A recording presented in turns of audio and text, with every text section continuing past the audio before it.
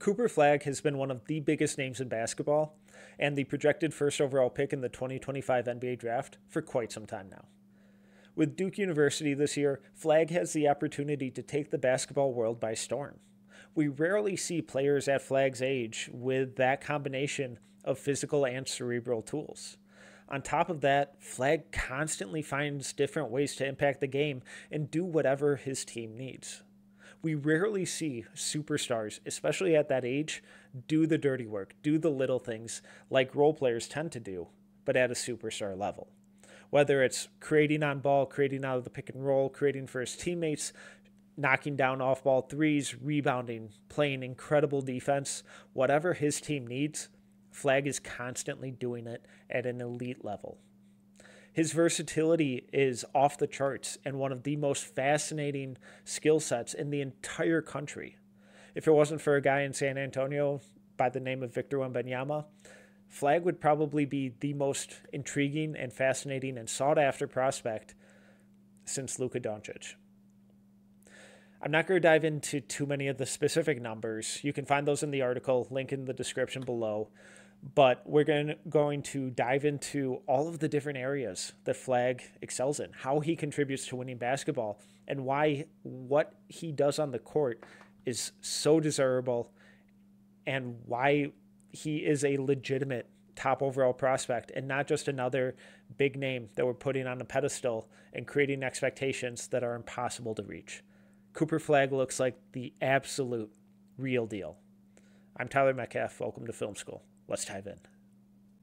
All right, we got to start with Cooper Flagg's shooting. Um, I'm not going to dive into too many of the numbers. Again, you can find those in the article uh, in the description below, where I lay out a ton of numbers, percentages, improvements, all that kind of stuff. But I, I wanted to more so show a lot of the different areas um, of how Flagg shot, where it's not just standstill stuff, it's not just off the catch. There's a lot of movement, and by all accounts, Flagg shooting numbers and indicators are really, really promising. The biggest gripe is that his form just kind of looks a little funky. Um, so, as we can see, his off-ball shooting, it he's comfortable taking stuff off movement, um, off handoffs. Again, he's not going to be a guy who's sprinting off screens and hitting ridiculous off-balance stuff like a Klay Thompson or a Steph Curry by any means, but he's also not just exclusively standing in the corner. He can hit a bunch of different types of shots off the catch.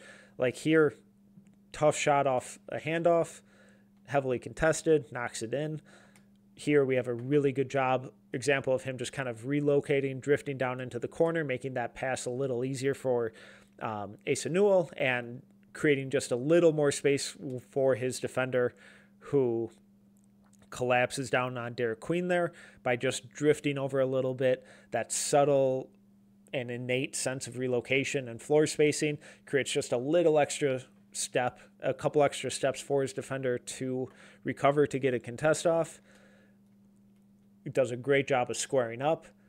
Again, the biggest gripe with Flagg's shooting just kind of seems to be it looks weird. It looks a little funky, but the mechanics are consistent high release at his height with his wingspan. It's always going to look a little funky just because guys whose arms are that long, they tend to. But that shot is incredibly difficult to block. Good high release point, follow through, nothing but net. On this one, we, we get a really good angle um, of Flagg's mechanics here. So off the catch, ran into the shooting pocket. Okay dip, you know, he'll, he'll need to speed this up, but doesn't really concave the knee a whole lot. Pretty clean elevation. Elbows tucked in, guide hand in a good spot, high release. It's off to the side a little bit, but again, it doesn't, that's okay as long as it's consistent and comfortable for him, which it is. High release point makes it impossible for AJ Dybantsa, who has the late contest here, to block it AJ's a big dude, so that high release point is crucial. Guide hand stays there, it's not really involved, and it goes in. I, I tend to buy Flagg's shooting at least to the point of him being league average at an NBA level. Is he going to be an elite shooter? Maybe not. But by all indications and growth over the last couple of years, he's I would be shocked if he's just a bad shooter. And that's pure. It's comfortable, it's consistent. The biggest growth that we saw from Flagg this last season at Montverde was how comfortable he was shooting on ball. This is a really, really tough shot going against the Boozers here. Good jab step, drive, not elite creation or handle or dynamic on ball creation by any means here, but at his size with his physical tools and this improved shooting form, it doesn't have to be. Releasing the ball at that point, this is tremendous defense.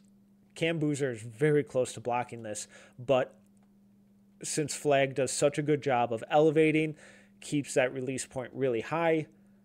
Feathery touch drops in an off balance mid range fadeaway against really tight coverage. That's the type of stuff that Flagg improved a ton on this year and has an opportunity to really just skyrocket his growth and his impact um, in the coming years of his career over the last year or so, Flagg has also really improved his handle, his on ball creation, and his just all around scoring craft. And on this one, we, we have a really good example of how that those improvements combined with the shooting improvement end up in a really fun result. So here he's just going to go set this off ball screen. His teammate's going to cut baseline and Flagg is immediately going to pop out and go to work against the mismatch on the smaller defender. So he's as on the catch, he's just going to give a little subtle fake, and Cayden Boozer here does a really good job of staying grounded and cutting off the baseline drive. But this is an improvement area for Flagg where he's made a huge step forward with his handle, immediately hits Boozer with that behind the back counter, attacks the middle of the floor, ton of space here, he very easily could just rise up here and utilize that really high release point that we just saw uh, in the previous clip. But instead, he knows that Boozer's going to be closing out hard and uses another little shot fake. This one gets Boozer to commit. Flagg does a really good job of stepping through, showcasing that high release point, these me- consistent mechanics that we've seen from him. Again, it looks a little funky, but that's mainly just because of how long his arms are the release point is sound, the elbow, the the guide hand, all of it's really consistent, and we're seeing it in this example. After he's absorbed contact and is off balance, he steps through, absorbs the contact, drops in the mid-range jumper, floater, whatever you want to classify it as, but the, the the shooting mechanics on their own are great, but I, I love how simple and direct his handle is here. Because at his size with his athletic tools with his length and his release point he doesn't have to have this outlandish bag what or if that's what you want to call it. His handles don't have to be extraordinary they just have to be good. And right now they are they're really solid for where's where he's at in his developmental curve. And the amount they've grown in the last year or two is really encouraging for how much they can continue to grow because it allows him to just get to a spot. And once he gets to a spot, the defender doesn't have much of a chance because of his size and his physical tools. The really fun development with Flagg's scoring versatility um, and handle improvement is that he doesn't have to have a mismatch to properly utilize it anymore. And it's become a real weapon and made him a real, real threat in isolation possession. So, again, here he's on ball, no mismatch here, just right away early in the possession going against Cam Boozer, and he just goes to work. It's simple, it's direct, but it's effective. There's no wasted movement, there's no unnecessary flash. Flagg knows what he wants to do, and he just uses one or two quick, decisive moves to get to his spot and execute. And that's all you need from him in terms of on ball scoring. So great little, I love this in and out move here. That's nasty. That is absolutely nasty. Um, it's not it's not crazy, but it's super quick. It's really crisp. It's tight between the legs. Sets up Boozer. The way that he extends with that right foot there gets Boozer leaning a little bit to his left, and Flagg does just executes that in and out dribble perfectly, attacks back against uh, Boozer's momentum, gets downhill. He's re- Flagg is really confident and comfortable going to his left, elongates his strides, and then uses his length and his body to get rim side of Boozer, shield the ball, extend with his left hand with that offhand, drops in the layup. That's awesome. It's not going to make a top 10 list. It's not going to be on some highlight reel of handles of him breaking someone's ankles, but it's decisive, it's quick, and incredibly effective. The next major leap I expect that we'll see from Flagg's offensive game is just the continued growth of his playmaking. Now that he's really grown into a dynamic on ball scorer, that scoring gravity is going to only increase and it's going to create opportunities like this. Again, similar to his handle, there isn't anything overtly flashy or manipulative um, here with Flagg's playmaking, but it's a testament to just efficient craft and just making the right decision, being incredibly effective. So he's just going to run off this pin down into the handoff with Derek Queen. And as Flagg comes off this handoff, um, his eyes first immediately go to the help defender. So now he knows that his defender was playing trail defense, chasing him over the screens, and that Queen's defender is playing at the level. So he now knows that he has two defenders on him. He can also see both defenders on the weak side here as his teammate relocates to the opposite corner.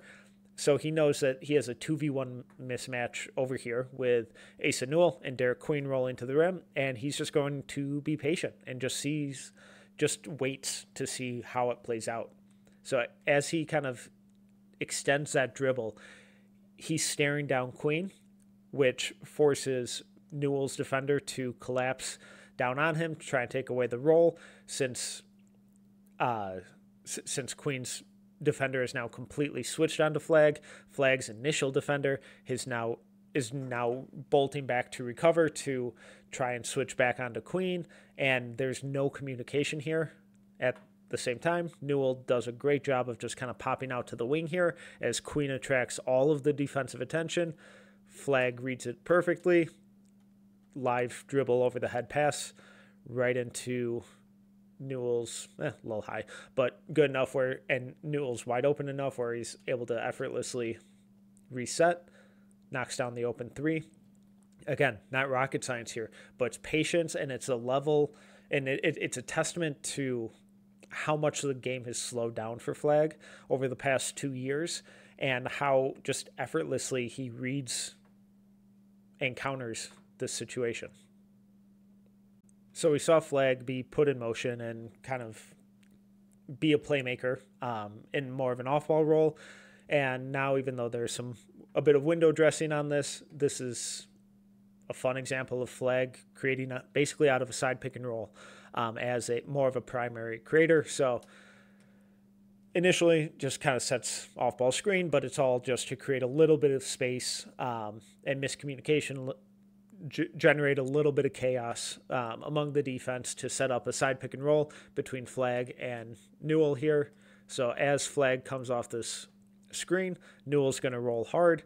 And again, bit of miscommunication here on the defense. Newell's defender is playing at the level, he's sp- switching, and and AJ Dybantsa here isn't communicating whether he's staying with Newell or coming back to Flagg. At the same time, Liam McNeely has circled out and is drawing his defender back out to the perimeter. So Newell has all this space in the middle of the lane to roll into because no one's protecting the rim. And both of these defenders are now on the opposite side of the rim as Newell. So Flagg sees this, does a really good job of stringing out that dribble just one more step, gets both defenders who are now above the free throw line. No communication here. Flagg recognizes it right away, but they both have really good length. Um, so Flagg knows that he has to get it over them. He elevates, changes the release point of this pass, layers it over the defense, leads Newell perfectly to the rim for the easy dunk.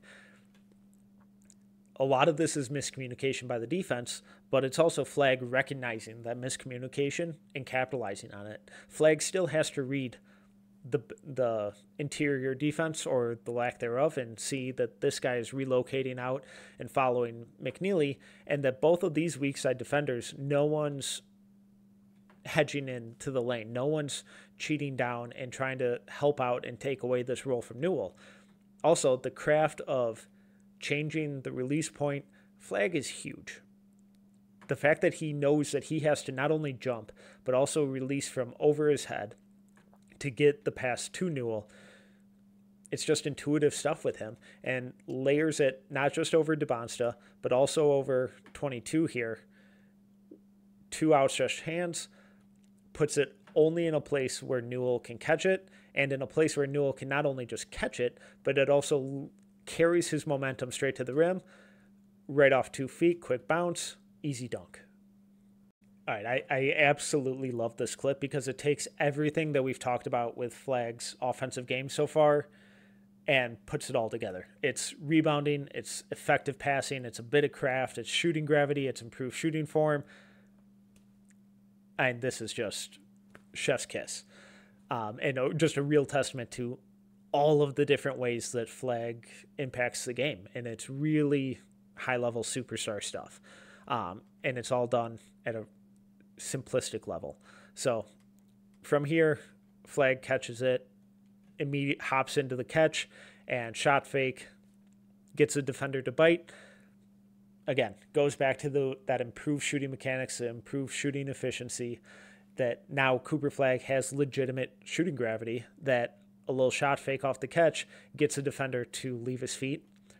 Flagg does a great job, just rip through, drive, attack that high foot, attack his momentum, attack the middle of the floor, which draws the rotation from two defenders.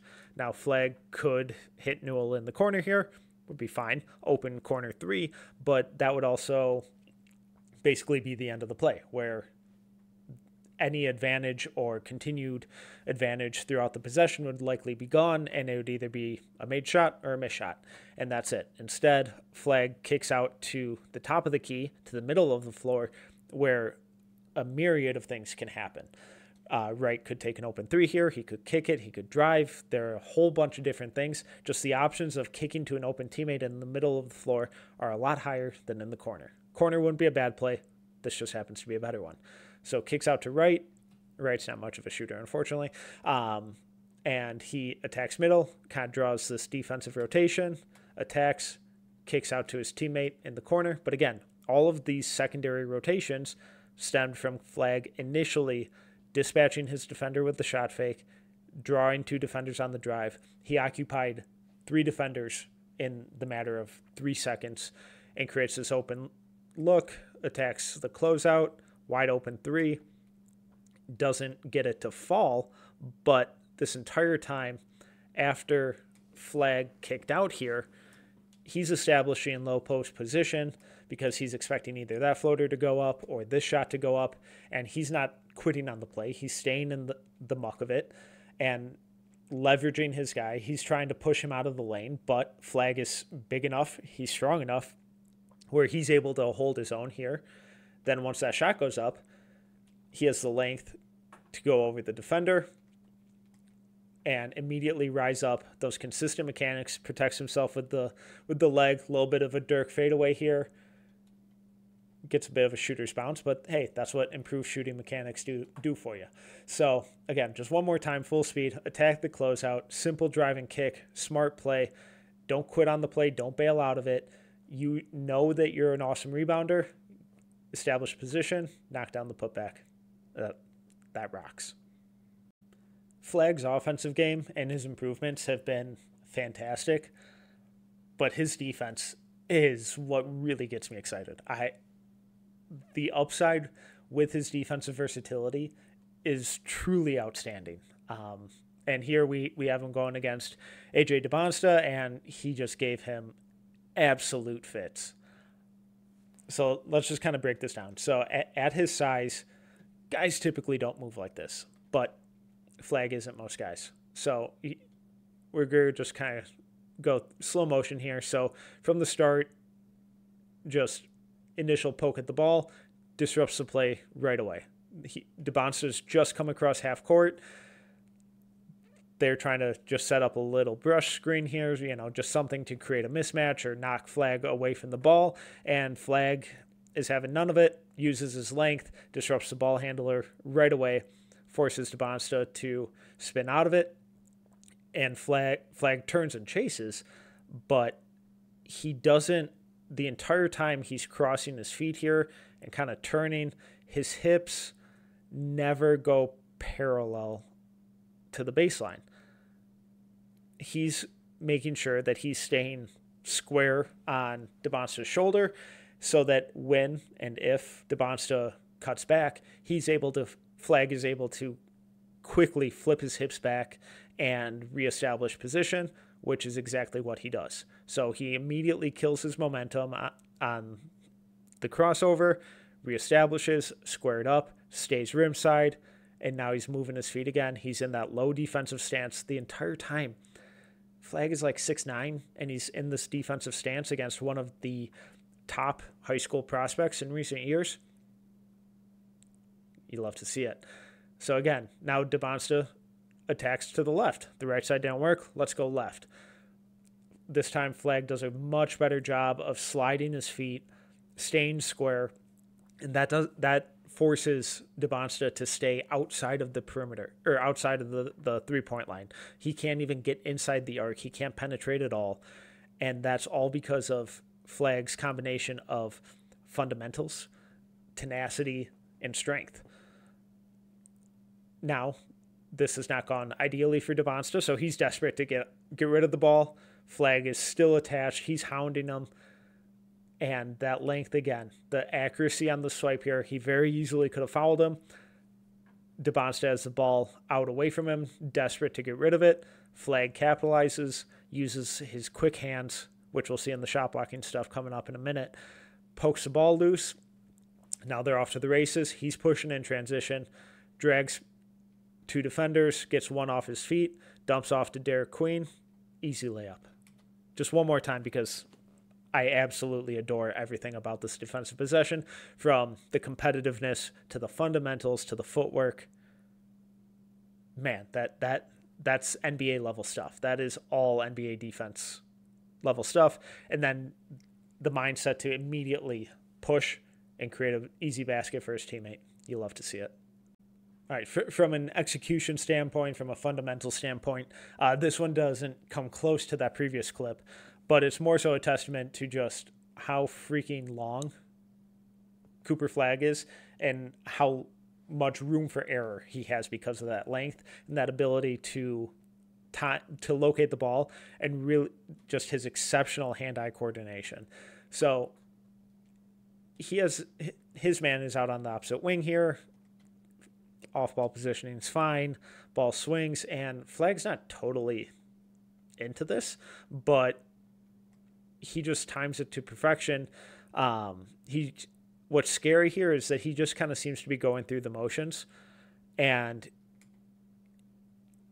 as the amount of sp- how quickly he closes down this space is really impressive, and the ability to time his jump to perfection, the shooter never had a chance. So not only does Flagg do a great job of closing out here, blocking that shot, but now he's like, all right, let's go. Clock's running down. Let's go get a dunk. Testament to the athletic tools, the situational awareness, and the hand eye coordination. The most devastating um, part of Flagg's defense is his off ball defense, uh, whether it's jumping passing lanes, being a weak side rim protector, just his combination of athleticism, length, and awareness is it can totally take over a game. And we don't typically get to say that about many off ball defenders. Um, so we saw how good he was on ball, but now off ball. So his man's just going to circle through here. This is a set that we see in the NBA a lot. Um, and his man's going to, as his man relocates to the opposite corner, Flagg is keeping his eyes on the ball and being aware of everything that's going on. He's not just focused on his man, he's not just focused on the ball. He's keeping the entire floor, the entire play in front of him and soaking it all in so he can be in the right place.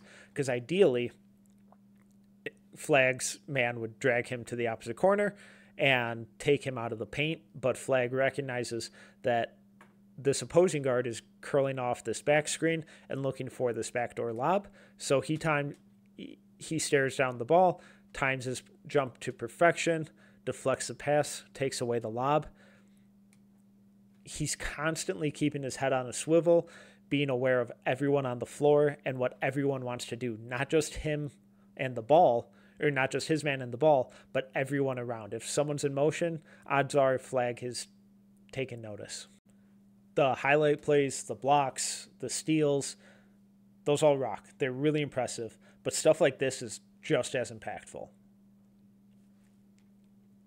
This is an awesome play, and we, seeing this type of discipline from a kid his age, really, really rare. So Boozer's going to be at the top of the key here has a mismatch and he goes to work the entire time. Flagg is acting as that weak side rim protector, and he knows that he's going to have to help out here as Boozer lowers his shoulder, completely trucks his defender. Flagg is there the second that Boozer gets a clean look at the rim. The timing here is absolutely perfect from Flagg because he knows that his teammate probably doesn't have a shot here of kind of holding his own. And the second that Fla- that Boozer's there to go up, Flagg is ready to meet him. What's awesome here, though, on that shot fake, it would be so easy for Flagg to jump at it. And most kids his age, most defenders his age, would. They would be desperate to block one of the best high school prospects in the country, uh, one of the best high school recruits in the country. But Flagg has that discipline. He has the awareness to stay grounded, stay vertical, doesn't foul, forces a bad miss, gets the rebound, and immediately goes in the other direction. This this type of discipline with these physical tools at this age is exactly what leads to a guy like Cooper Flagg growing into an all NBA level defender. Don't worry, it's not all just forced misses. We have some fun blocks here too um, in this one against AJ Dybantsa. So as Dybantsa pushes in transition here, he likes his matchup against Liam McNeely, who has good size, really strong player, not exactly the quickest. And Dybantsa wants to attack. He wants to get downhill. So as he attacks, Flagg sees the aggressiveness. He's at the elbow here, acting as the weak side shot blocker. And he times his jump to absolute perfection. McNeely does a really good job of kind of holding up Dybantsa, keeping him outside the lane, not allowing him to just get a clean look at the rim. And that ability to just delay Dybantsa a little bit allows Flagg to rotate over. By the time that McNeely is kind of out of the play now, and is hoping to have a relatively clean look at the rim, Unfortunately for him, Cooper Flagg is already there, lurking, ready to swat that shot away. He utilizes his length, shows off the hand eye coordination again, blocks it, but he blocks it under control. It'd be really fun if he swatted it into the 10th row, but by controlling it and keeping it in bounds, he's now able to give his team an extra possession, get out in fast break, and look for an easy hoop going the other way. It's way more meaningful and impactful doing that kind of stuff, um, even though it may not make the absolute highlight reel of disrespectful blocks or whatever. But the the timing here, the control, the hand-eye coordination, exactly what you want from a weak side shot blocker. On this one, th- this one really feels like knowing your scouting report. Um, and again, just real testament to Flagg's ball location and hand eye coordination ability. So from here, Dybantsa has the opposing guard on him, and he likes his, you know, this potential mismatch in the post. And from the start, Flagg just takes a little peek over his shoulder, sees his man out near half court. Cool, don't have to worry about him anymore. Now let's go hunt. Let's go make a play. And that's exactly what he does. Again, he syncs up and coordinates his timing so perfectly with the ball handler. The amount of times that he does this, it's like he's in their head and he's knows he knows exactly what Dybantsa wants to do and when he wants to do it. He elevates with him. Great job of locating the ball, avoiding the head, avoiding the arm, avoiding the hand, only getting ball and blocking it. Almost again, almost kept it in bounds, landed on the line, but the the timing here, the awareness of where his man is and how quickly he can b- pounce on Dybantsa here, it's special. Flagg's, length and athleticism and uh, hand-eye coordination really come into play in terms of jumping passing lanes as well. Uh, he's just a threat at all times on the defensive end.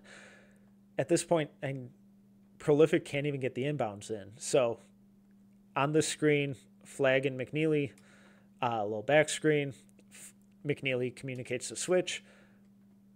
Flagg is a little late to fully accept it. He's desperate to get back to Dybantsa, but sees that McNeeley has him and immediately bolts back to his new assignment. Inbounder thinks that's enough space. Flagg disagrees.